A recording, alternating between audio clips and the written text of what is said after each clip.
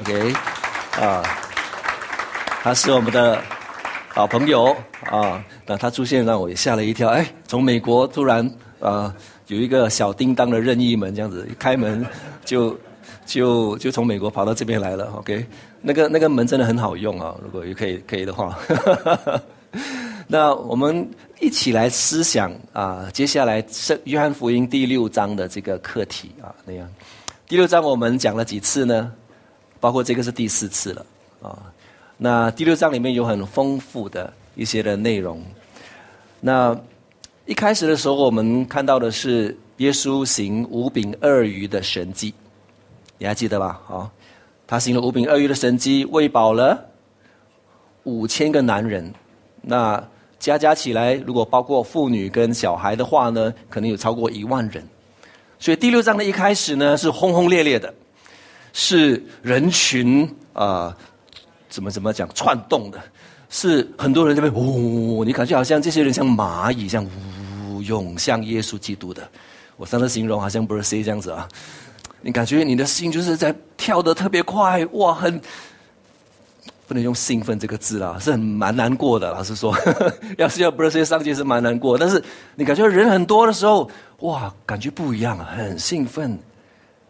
可是到了第六章要结束的时候，竟然人是一个一个走了，很可能只剩下十几个人，十几个门徒，从几几千一万人以上，到剩下也许不多的人。用福建话讲，那也安呢？怎么会这样子？一开始好好的，为什么人不见了？那人跑去哪里了？为什么施工的高潮现在变成施工的一个这么低的低潮啊？如果教会是这样子的话呢？啊，肯定我就被会度啊会长叫去问话了，对不对？喂，你的业绩怎么搞的？一开始还有啊，呃，百多人，现在现在小猫两三只，呃，你是不是有问题啊？耶稣的施工在那时候，从人的角度来看呢，好像出现了问题，好像面对一个很大的低潮啊。让我们再来啊，我再读一次啊，刚才所这个读的经文，让我们尝试把自己啊放到当时候约翰在记载的时候的那个场景的里面，在我们读的时候呢，尝试在你的脑海里面产生一个图画。啊，这个图画帮助我们去了解当时候的情景啊是怎么样的。他的门徒中有好些人听见了，就说这话很难，谁听得进呢？耶稣心里知道门徒为这话私下议论，就对他们说：“这话成了你们的绊脚石吗？”如果你们看见人子升到他原来所在之处，会怎么样呢？圣灵赐人生命，肉体毫无用处。我对你们所说的话就是灵，就是生命。可是你们中间有些人不信。耶稣起初就知道哪些人不信他，哪一个要出卖他。于是耶稣说：“所以我对你们说过，若不是蒙我父的恩赐，没有人能到我这里来。”从此，他门徒中有很多退却了，不再和他同行。耶稣就对那十二使徒说：“你们也要离开吗？”西门彼得回答他：“主啊，你有永生之道。”我们还跟从谁呢？我们已经信了，又知道你是神的圣者。我们看见这个整个的过程里面呢，从许多的人到几个人，因为耶稣在过程当中，他讲了一些人很难接受的话。门徒说：“这话很难啊，谁？”听得见呢？当我们知道，耶稣所讲的不是废话，耶稣所讲的也不是假的话，耶稣所讲的不是要迎合人的话，讲来好听的。耶稣要讲的是我们每一个门徒、每一个跟随耶稣基督的人所需要知道的话。耶稣不说迎合人的话，难怪有好些人说这话很难，谁听得进呢？他们就离开了。甚至这些人所讲的话里面，你可以知道说，从他们的文化角度，从他们的知识或者是他们的了解的里面呢，没有人听得进的。他说：“谁听得进呢？照理不可能有人的。”我们发现，其实对于信徒来说，我们自己很多时候好像也是选一些我们听喜欢听的话来听的，包括神的话。这个是一个很大的试探来的。你看这些好听的、祝福的，哇，是的，主啊，好棒啊，这个多好啊！啊，平安、祝福、医治、彼此相爱，美的无比啊！要听，有很多还没有信耶稣的人，他也用耶稣的话，你知道吗？他把耶稣当成是一个道德家，他讲的话很美啊，听一听吧。哎，可是圣经里面还有一些话，有时候我们不是很想去听的，有时候听来蛮刺耳的。就像这些人所讲，他说这话很难的时候呢，他的意思就是说很刺耳啊，很难接受啊，是我们不能够听得下去的。也就是说，要爱你的仇敌，很难听啊。也就是说，信他的人也会受苦，很难听啊。也就是说，妻子们啊，你要顺服你的丈夫，谁说的？圣经说，你们丈夫要舍己爱你的妻子啊，有吗？我发现我们会选一些好听的话来听，有时候呢，不是很顺自己意的时候呢，就。很难听，或者是盖着眼睛把它快快的翻过去就好了。圣经所说的话，耶稣说的话呢，不是为了要迎合你我的要求、你我的意思来说的。那我们知道，嗯，应该了哈，大选要到了，应该了哈。呃，有人猜，呃，怎么样怎么样怎么样？OK，但是不会太久了。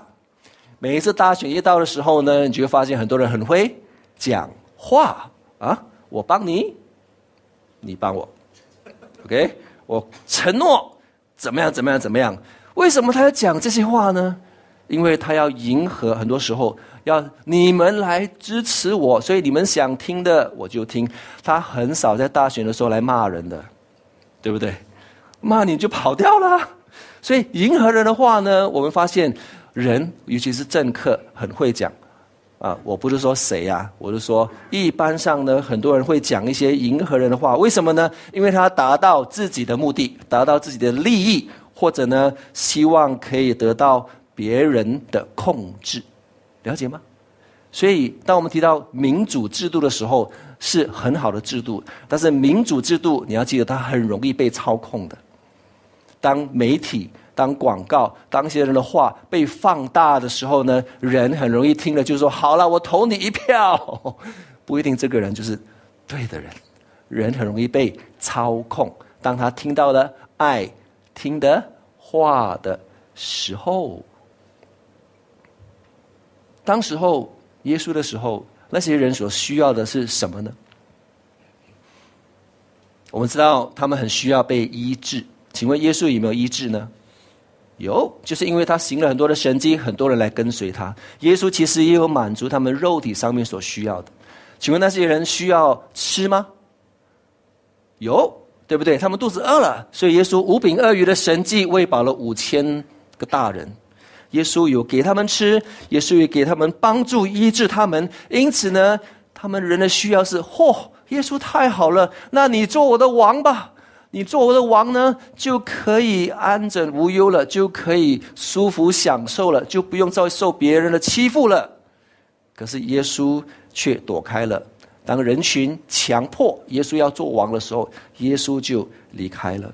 其实我在想啊，耶稣如果不说什么话，他就可以达到所谓所有的政客的目的了，你知道吗？行了神迹，行了医治，给你吃的。点点就好了，你知道吗？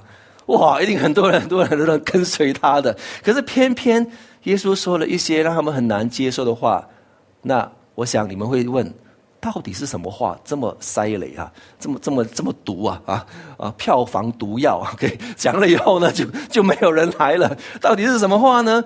之前耶稣就讲了一些话啊，在上次的讲道里面也有提到的。耶稣说什么呢？吃我的肉、喝我的血的人，藏在我里面，我也藏在他里面。永生的父怎样猜我来，我又怎样因父活着，照样吃我肉的人也要因我活着。他不止讲了一次，讲了两次、三次、很多次，每一次都非常的刺耳，每一次都非常的难以接受。但其实我们知道，耶稣讲这个话的意思，从现在我们往回看的时候，我们才看得清楚的。原来他讲的是他的牺牲。原来他讲的是他牺牲他自己，使我们得着生命的粮，使我们的生命能够延续到永生。这就是耶稣所承诺的应许。因此他说：“吃我的肉，喝我的血的人。”但是呢，这个是当时候的人所无法接受的。耶稣所说的是我们真正的需要。我们一起来读这些经文。圣灵赐人生命，肉体毫无用处。我对你们说的话就是灵，就是生命。当他说肉体毫无用处的时候，他并不是说这些东西不重要。记得他不是说肉体毫无益处啊？OK，因为他也把食物形神寄出来给人呢，他有没有意志呢？也有啊，但是呢，很多人却因为看到肉体的需要的时候呢，就忘记了更重要的是什么。所以耶稣说，肉体毫无用处。为什么呢？因为只有生命才可以转化生命，因为只有生命才可以得着生命。所以他说：“我的话就是灵，我的话就是生命。”我要告诉你们，你们要得着生命所真正需要的，不要因为肉体想要的，或者是肉体所需要的而忘记了，或者是忽略了真正重要的你的生命。所以我们了解，从现在角度，我们知道耶稣如何达到把他的肉、把他的血赐给我们呢？就是透过他有血有肉的牺牲。我先讲过，耶稣死的时候不是安乐死的，你知道吗？耶稣死的时候不是一出生就夭折死的，怎么？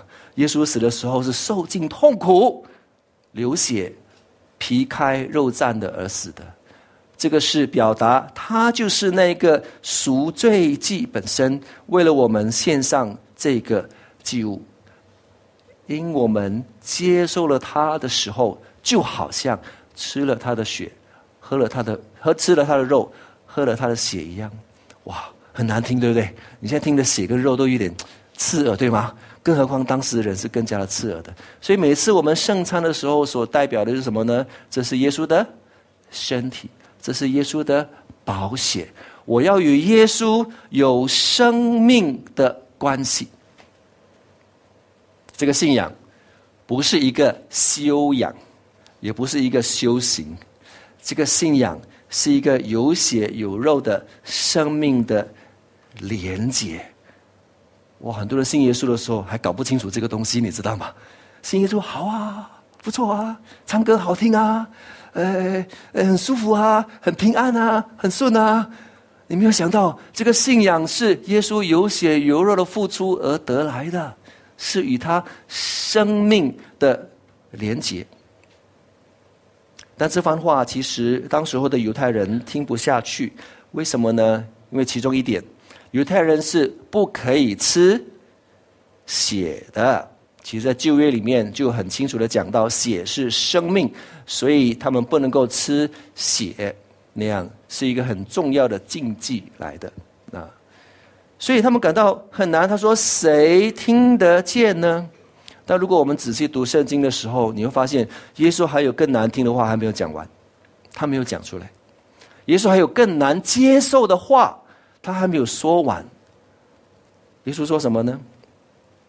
他说：“如果你们看见人子升到他原来的地方，原原来所在之处，会怎么样呢？就是说，你们听到我说说的话，就成为你的绊脚石啊。那如果我说人只要回到他来的地方的话，这会怎么样呢？耶稣还有一些话没有讲完，因为他知道这些话会让他们更加受刺激啊，可能连那几个门徒都不见了。请问，耶稣要如何的升到他升上去，到他原来所在之处呢？这整个的过程要经过他被举在十字架上，这是整个约翰福音里面常常提到的，对吧？也就是说，摩西在旷野怎样举蛇，人也是一样被举起来。也就是说，当我被举起来，就要吸引万人来归向我。这个举起来其实是一个极大的羞辱，不是极大的荣耀。他升到他原来的地方，荣耀的地方，他要经过一个被举起在十字架上这样子的一个羞辱，很难接受。因为保罗也说过。十字架在犹太人的角度看起来是一个极大的绊脚石啊，是没有错。这位君王，这位主，他可以牺牲自己，但是呢，怎么可以被挂在十字架上这么样的羞辱呢？这成为他们极大的绊脚石了。所以，也就是说，我讲这些话，你们已经受不了了。那如果我讲人只要被举起来，你们会有怎么样的反应呢？他没有把话一次的讲完，要不然，我想门徒们连那十二使徒都走了。基本上，我们知道后来当耶稣被举在十字架上的时候，还有门徒留下来吗？没有，或者可能有一个。基本上，门徒是怎么样？走了。面对这个大考验的时候，他走了。彼得怎么样呢？三次不认耶稣。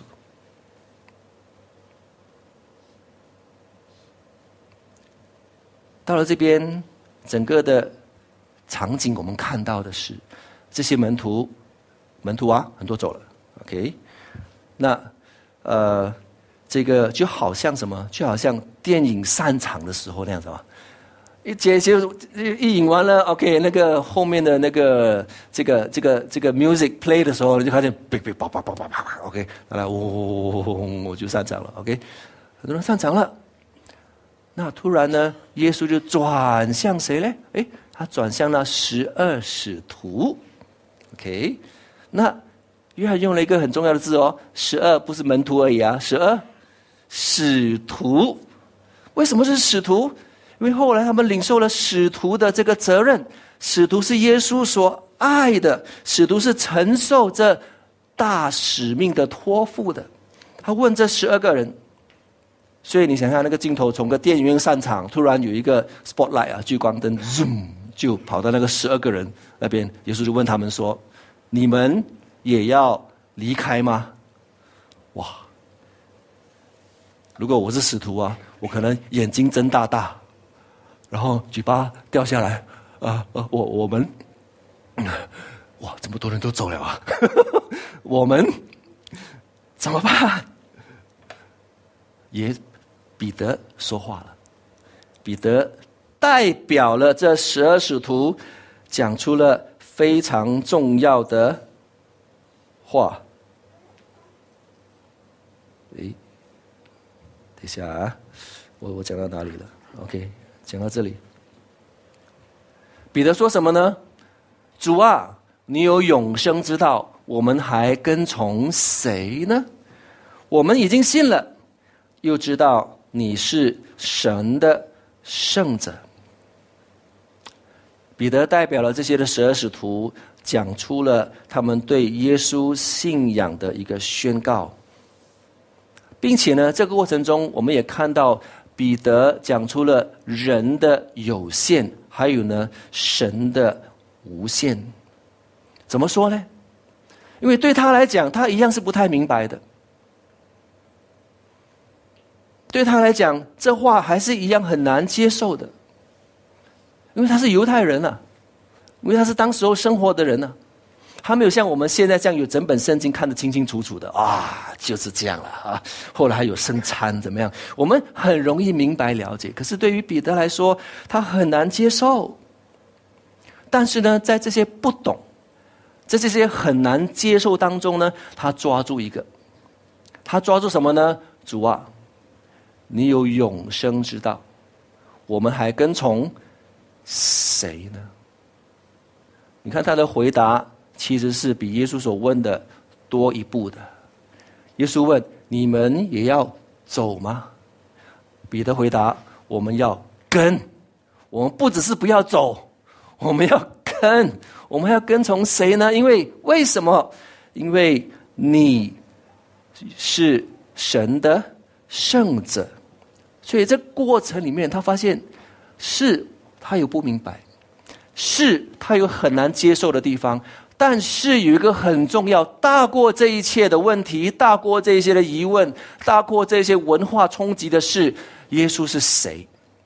而他抓住了这一个，他就跟随下去。既然你是神，你的话就是永生的话，永生之道。我是不明白，我是难以接受，但是我不止不走，我还要跟随下去。这个是跟随永生之道。所需要的决心，这也是在今天的讲道里面，我们自己要问自己的问题：为什么？因为我们处在世界上，我们面对很多很多不明白，有些时候不能接受的事物，酸甜苦辣都有。有时候我们会问：为什么？为什么？为什么？在前两个礼拜的这个少年营，少年们还记得这个家伙吧？有吗？少年人在哪里？有啊，啊，有些在楼上。少年人们看着镜头啊，还记得他是谁吗？我们看了一个影片，很短的影片。讲到这个人，他其实很出名啊，就是 Nick 啊，尼克，Nick Vujicic，应该是这样 pronounce 啊，Nick Vujicic，他是澳洲人，OK，那样。那也许很多人都了解啊，知道他的故事。他一出生不是少了一个手，也不是少了一只脚，他出生是没有手没有脚，只有一个小小的鸡腿哈，小小的脚在那边，那样子，像企鹅的脚那样子。这一点对于他的父母来说是很难很难接受的，但是对于他自己是更加难以接受的，因为他感受到了，他体验到了，就是为什么我跟别人不一样？为什么别人有的九十九八岁以上有的，可是我却没有？Why？他出生在一个牧师的家庭里面，他也在这个信仰当中带领，可他常常问上帝：“Why？” 好，上帝，我是要服侍你，上帝，我是要跟随你，但是你回答我个问题：我没有脚怎么跟你啊？我没有手怎么服侍你啊？Why？Why God you make me like this？没有答案。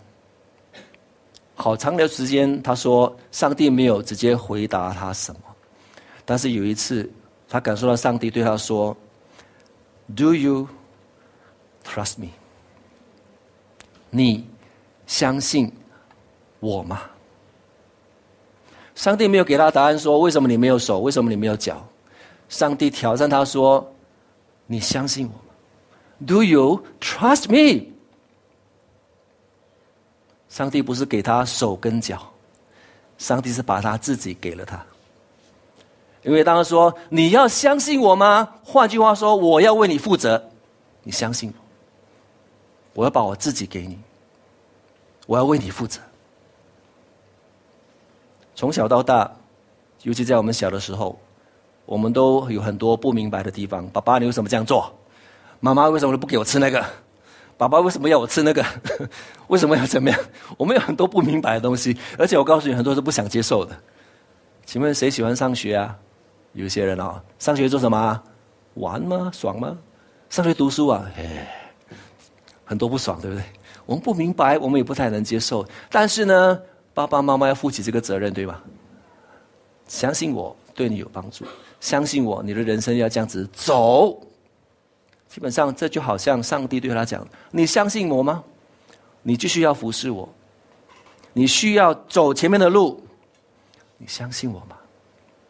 所以，上帝的这句话。把从人所想要的答案说你为什么这样？你又不是不给我等等，转移到什么呢？转移到 you and me，我们的关系是什么？你相信吗？你要跟随吗？但是以后呢？Nick 他的祷告变成这样：Please be, please give me arms and legs，OK？but if you don't give me arms, arms and legs, I trust you. 请你给我手跟脚吧。但是如果你没有给我手跟脚呢，我仍然相信你。就凭着这样子一句话呢，他的人生后来有很大很大的改变。谁户我们要回到的是信心的本质的里面。信心的本质。并不是说我对上帝会怎么做有把握，而是我对他是谁有把握。就像彼得所讲的：“你是上帝的圣者，你是神，因此我来相信你。”我对于你所讲的话，我没有把握。对于你所做的事，我更觉得很危险。为什么呢？因为彼得曾经骂耶稣，你知道吗？耶稣说他要走向十字架道路，耶稣彼得骂他：“哎，你不可以这样子做嘞！人家对你期望很高嘞，怎么可以死掉？” 我们不明白神做的事情，但是呢，我们要了解，我们对他有把握的时候，这条路就可以走了。刚才我们提到，人生充满不确定，有许多的酸甜苦辣。很多时候我们会问上帝啊。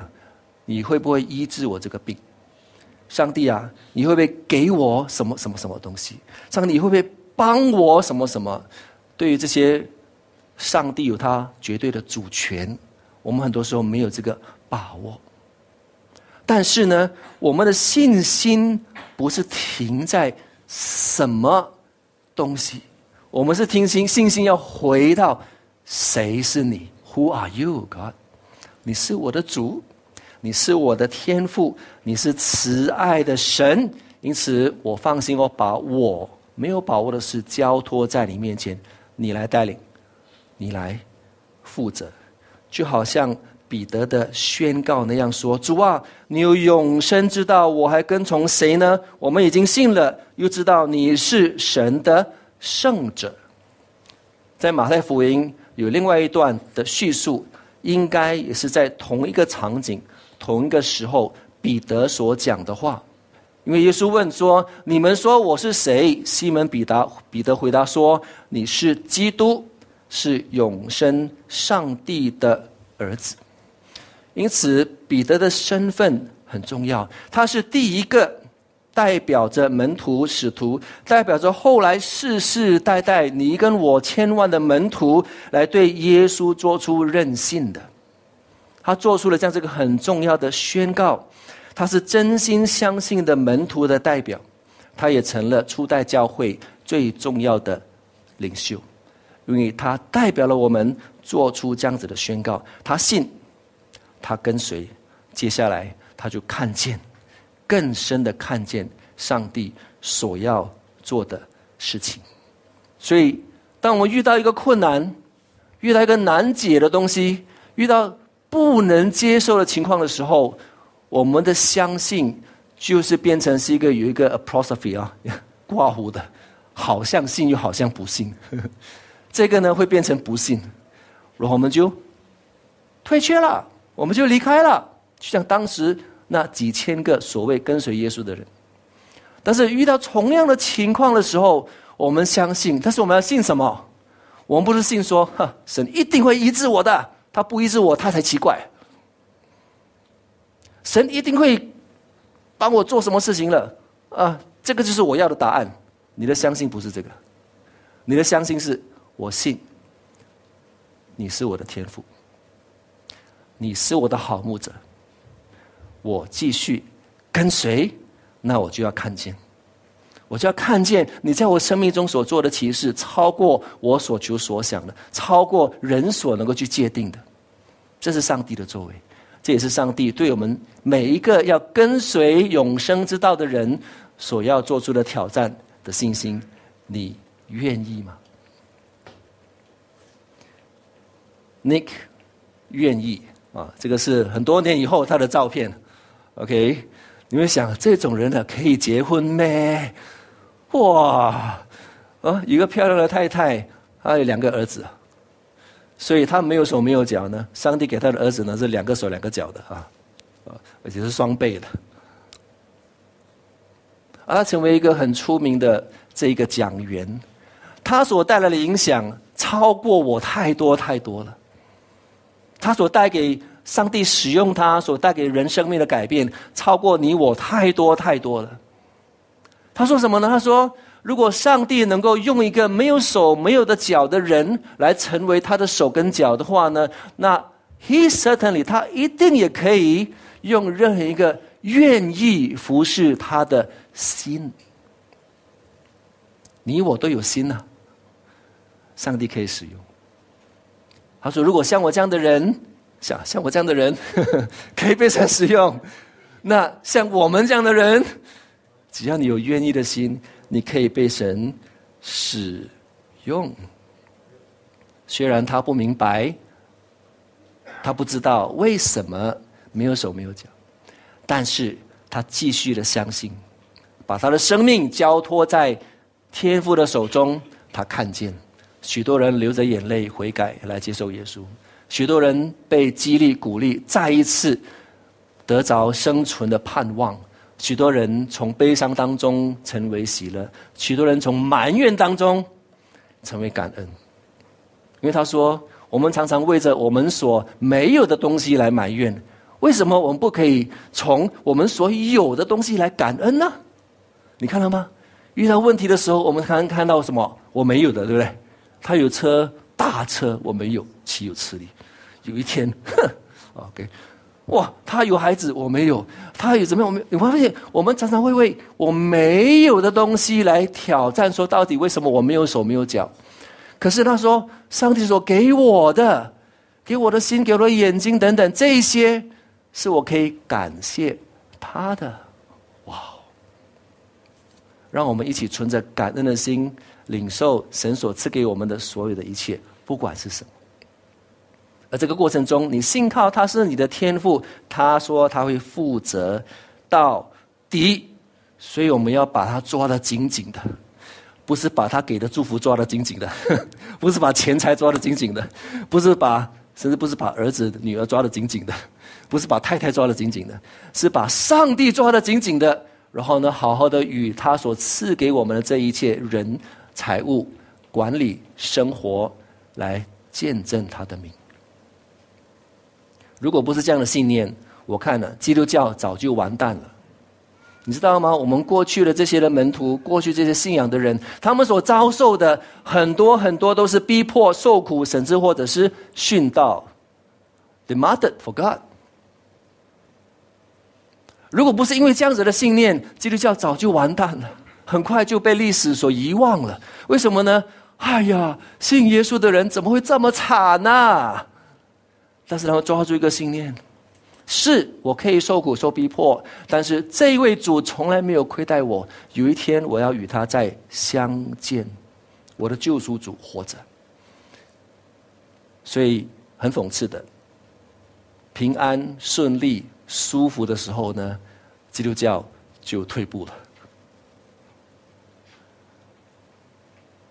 当有逼迫、困难、挑战临到的时候呢，信徒的信心反而是往前的。上帝在这世代要继续的做事，上帝也愿意使用每一个有手有脚，但是很重要的有愿意的心的人来被他使用。他是重点的，我们要抓住的是耶稣是。谁，就像 Nick 他所深深抓住的，就像彼得他所抓住的，就像历代以来这么多为主受苦的信徒们所紧紧抓住的。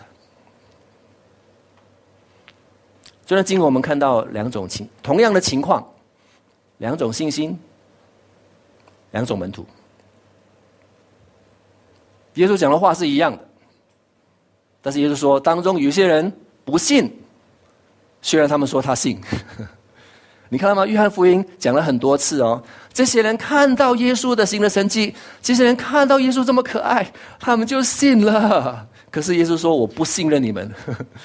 耶稣说，你们的信心是不信啊？为什么？因为他们要的是耶稣的 祝福，耶稣的。食物就好像，如果你的孩子要爸爸的钱，要爸爸的手机，他不是要爸爸。你这个爸爸觉得岂有此理哈？你要我的，我的，我的，你不是要我啊？上帝要我们与他个别的关系，这个关系是透过他的牺牲，有血有肉建立起来的。他付出了这一切。为了要使得我们归属于他，所以我们不能够只是单单要上帝的祝福，我们要上帝本身。而唯有这样子的信心，我们要经过的不是那种有跨弧的相信，我们要走的是一个确信。Believe，Do you trust me？在这样的情况当中，你信我吗？你信，你继续跟随，你要看见。这是一个不带着条件，即使不合你的心意，你仍相信，你仍跟随。这个不是盲目的相信，而是你认定他是你的主，是创造你的神，你能够相信他。谁是主吧？你就跟随他吧。这个过程中，其实耶稣。有一些还没有讲完的话，因为他知道，当他如果讲的非常的清楚，这些人要跟随成长的机会就没有了。就像刚才，